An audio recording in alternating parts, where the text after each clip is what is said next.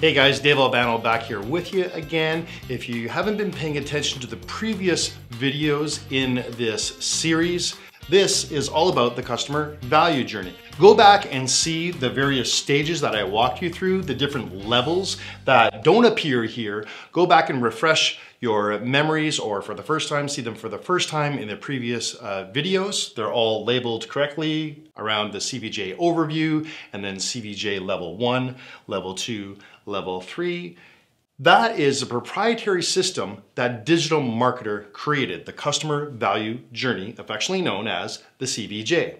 I'm Dave Albano of Joseph Marketing and a uh, certified partner and elite marketing coach with Digital Marketer. As a certified partner, I am licensed to use the customer value journey in my own and others' businesses. We serve uh, million dollar companies to double their revenues in 12 months or less. This is one of the ways we do that, using the customer value journey. So I implore you to use it in your own business as well. In this video, I'm gonna teach you a simple scoring system that I developed for my own clients that I would love to share with you. This is actually brand new to Digital Marketer, and it's super simple. It's a great way to analyze on the spot your business or if you're a marketing agency or consultant working for another business or maybe the head of a marketing department in a corporate, big enterprise, you can use the same system to score your own business. Keep in mind, this is avatar centric. You must know your avatar before you develop your entire customer value journey. That's super important, okay?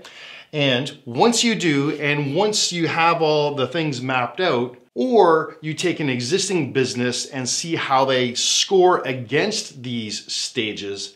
This is how you do it. It's super simple.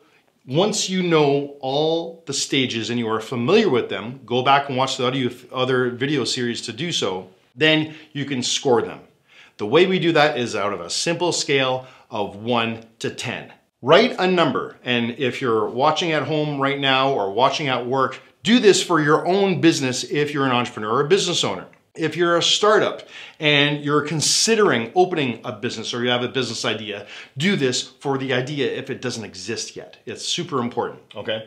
And when you know the aware stage and what goes in it, again, watch the other videos to find that out, score how robust and developed is your aware stage. Do you have organic and paid traffic systems going into drive awareness? Do you have referral programs in place at the promote stage to drive awareness? All those things. On a scale of one to 10, and do this right now for your own business or one that you're thinking of creating, on a scale of one to 10, how robust is your aware stage? Go ahead, write it in now okay, I'm gonna do this for a fictional company, and let's say I'm working with a business, this is one of the first things I do with them to see where they currently are. This sets the baseline so we can measure every quarter and rescore how we're doing. So on a scale of one to 10, I would come in and say, look at a, a, company and maybe they're largely relying on word of mouth and referrals. They don't have any really robust SEO in place and they're not doing any paid advertising. In a case like that, I'd probably rate them quite low, something like a two or three at the engage stage. Remember at this stage, this is all about the conversation people are having with you once they become aware of you. This is your content marketing bucket. This is also your social media bucket. How robust is your company's or the company you're analyzing uh, how robust is their content marketing or social media presence? Do they have a blog in place? Are they podcasting? Are they producing YouTube videos? Uh, do they have uh, all the social media channels? Uh, Facebook, Pinterest, LinkedIn, whatever your social platforms are, how robust are they? How active are they? How much are people engaging with you? And when we think of engaging on social, these are the likes, the shares, the comments. That's a conversation. Those are all engagement metrics you can track. How robust is that? In this fictional, fictional company, they're doing okay. They have some, they have, let's say they have a, uh, a Facebook page, but you know, they're not uh, publishing much or posting much on it. And they have a simple blog, but they're posting just once a month. So it's not uh, heavy in content. So I would rate something like that maybe a, a three to four.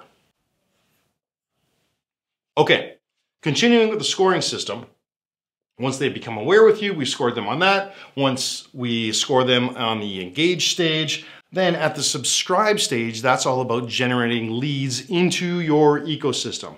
This is how many lead magnets do they have in place? Are those lead magnets actually performing? Okay, so you gotta think of not just what you have in place at each stage, but the performance of the things that are in that stage. In this fictitious company, to be honest, a lot of companies don't even have lead magnets. The only thing they have to generate leads that they're not driving traffic to is a contact form on their, their contact us page. That's typically the limit, and that is a trickle to none in my experience for most businesses. So if you have zero lead magnets in place, guess what? You're gonna score yourself a zero here. You might be doing webinars, for example. A webinar registration page counts as collecting a lead. So if you have that in place and you uh, are collecting leads through webinar registrations, okay, you can score yourself a little higher. But if you have nothing like that in place, you're a big goose egg here, guys. I'm sorry to say, but let's mark that a zero.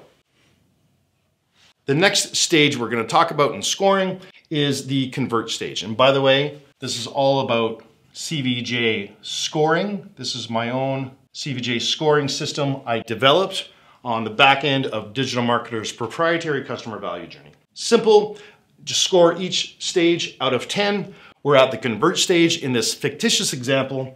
And in this fictitious company, uh, at the convert stage, remember that's all about a low ticket offer or an investment of time. Low ticket offer, especially in the info uh, product world, is something like a, a $7 uh, entry point offer. That's something that they pay. And think of the convert stage like um, an impulse buy at the checkout of a grocery store. You buy a pack of gum. It should be a no-brainer. That's a low ticket item. Another conversion mechanism is an investment of time, like they register to a uh, webinar or a masterclass and they actually show up. They're investing their time. If you don't have any of that in place, you're gonna mark yourself low here. In my experience, most businesses have none of that. They don't have any entry point offers uh, low ticket items, or a mechanism of investment in time. However, if you are a consulting business, for example, and offering free strategy sessions, that's a form of investment time. That counts. So if you have something like that in place, you're gonna score yourself a little higher, but if that's the only thing you have in place, it's still pretty low. Let's score this fictitious company that doesn't have a low ticket offer, they don't have any webinars, but they do take sales calls, strategy sessions. Let's count that and let's give them a three for that. Okay, we're back to stage five, the excite phase, one of the most misunderstood phases in the entire customer value journey. How do we score this? Remember guys, we can reverse engineer excitement. How do we do that? We deliver excitement typically at the previous convert stage? Are they excited enough? Do you deliver an aha moment that they are excited enough to continue on through the journey? When someone signs up as a customer with you, maybe you can send them a shock and awe package that they weren't expecting. Maybe the founder of the company are, is notified whenever you get a customer and they actually email them or call them. That is unheard of. That would excite a new customer and say, wow, this company really cares about me. So you can reverse engineer excitement. How are you doing that at the convert phase or shortly after they become a customer so they are excited enough, you deliver an aha moment or extreme customer service so that they are excited. In my experience, most companies never even think of this. They don't have anything in place. In the fictitious example I'm walking you through, either does this company. They have a zero. Finally, time in this fictitious example to get to the goods, selling the core offer. That resides at the ascend stage, stage six. Remember, most companies start here. They don't do all this pre-planning or mapping out this blueprint of how they ascend people through their value journey. They typically send them directly to the core offer. Most companies have a core, ship, a core offer. That's your flagship offering that you are known for. At the ascend phase, also bundled in there is all your upsells or downsells or what you can cross promote to sell them, okay? Uh, Amazon does this really well, for example, when you buy a book, for example, hey, who people who bought this thing also bought this thing. Those are uh, easy examples of upsells, especially in the e-com world. Do you have something like that in place? If you're starting a business, well, then you have nothing in place. You haven't made sale one. But if you're an established business, then uh, presumably you have a core offer. You're offering value to the world in the form of a core offer and other upsells and downsells. Let's assume that's true for this business. Most businesses have something to sell. So let's score them a four for that because they mainly have their core offer. They might have, you know, something pretty mediocre as an upsell or downsell, but if none of that in place, you're gonna score lower. If you have at least a core offer in place and presumably it's pretty good, remember you wanna factor in the performance, not only the existence of the mechanisms at each stage, but their performance. Two factors when you're scoring. And it's, it's one of these. This is a ballpark scoring, guys. So it's kind of objective, kind of subjective. It's a bit of a hybrid approach in the scoring system. They have a core offer in place that is pretty good, adds value to the world. Let's score them a four because they don't have a robust upsell, downsell funnel mechanism. Okay, we're almost done with this scoring example, guys. So we scored the first two levels. Remember, level one, the bottom row is all about leads. Level two is all about customers. You can learn more about those levels in the previous videos in this series. Let's go to level three, fans. This I find is where a lot of businesses fall down. They don't have anything at the advocate or promote stage. At the advocate stage, this is where your testimonials and case studies reside. Some businesses, they have some good uh, testimonials and case, case studies. Let's say they have a smattering in this fictitious example. This company has a smattering of uh, cool testimonials that they use in largely on their, their website or promotional materials. So we're gonna score them a three. They only have testimonials in place because they uh, people offered them or they uh, asked for them, but they don't have any system in place to automatically generate testimonials. That would be a robust a more robust example of how you would score higher in that. If they had lots of case studies and they're generating leads off those case studies, for example, or generating awareness, it's all about the advocacy at that stage that people, your clients are willing to give you a case study how many case studies you have, how many testimonials you have have. Also want to mention a key difference between advocate and promote stage that a lot of people miss. Advocate is typically passive. What do I mean by passive?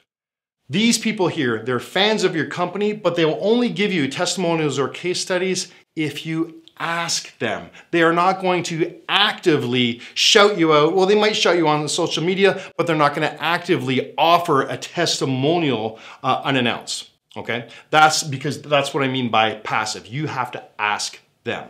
Let's compare that against promote.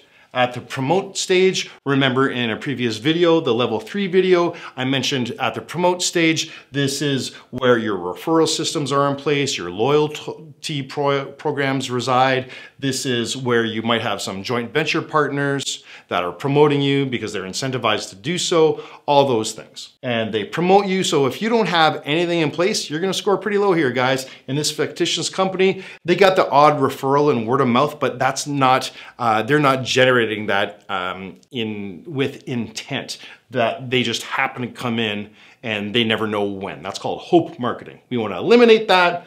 And in this case, when we're analyzing this fictitious company, they don't, they're relying on word of mouth and referrals, but they don't know when they're coming in. So we're gonna score them at a zero because they have nothing in place to actively get uh, JV partners, referrals, and so forth. So they're a zero. Okay, guys, that's our fictitious example. To be honest, this is pretty close to reality for most businesses when I do this with them. I'm curious to hear what your business might have scored when you follow this through with me. So hopefully you've been following the bouncing ball, writing down your own score for your own business or a business that you work with and scoring them through the various stages. Remember, this is out of a 10 point scale. So let's add all these scores up and see what we have.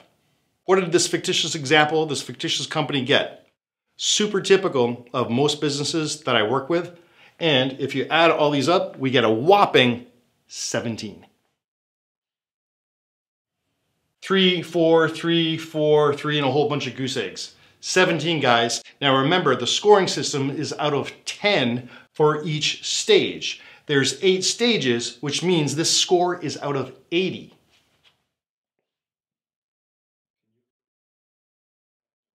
17 out of 80. And if you convert that into a percentage, you get a measly 21%, guys. 21% out of 80, okay? 17 out of 80. Super typical of pretty much every single business I work with. We do this with them. I encourage your, you to do it for your own business or any business you're working with. You can do this once a quarter. And when you first start working with a business or when you first do this for yourself, get the baseline. This is your baseline percentage. 21%, yeah, failing grade. That is most people. I have never, ever done this with any business that gets 50% or more. 20, 30, maybe max 40. 40 is actually really high. Uh, is the typical score I get when I do this exercise because no one has, eh, they don't check all the boxes. No one has all this in place. I encourage you to get this in place for you score yourself, and then review this. Do the same exercise every quarter to see how you improve. And how do you improve? You're filling in the holes in the boxes that you may have. Maybe you don't have any lead magnets at the subscribe stage. So next quarter, you maybe you uh, introduce two or three into your business and you can change the zero into a three. Uh, maybe at the excite phase, you haven't thought about how you can reverse engineer excitement. This helps um, prescribe what projects you can implement into your business to raise this score up. And when you start to check all the boxes, then you raise that score up collectively quarter over quarter, you grow and scale your business. And that is the CVJ scoring system that I invented, guys, that builds on top of the customer value journey. Hopefully that helps. Hopefully that makes sense. That's how you can instantly analyze any business on the spot and show continual progression if you're tracking this quarter over quarter to try and increase that score down there. Hopefully your score was a little higher. If not, you can reach me at josemarketing.com or check us out at Digital Marketer because I'm also one of their certified partners allowed to teach and implement this stuff and one of their elite marketing coaches. I'm Dave Albano. Hope you're having an awesome day. Hopefully this helped onward and upward.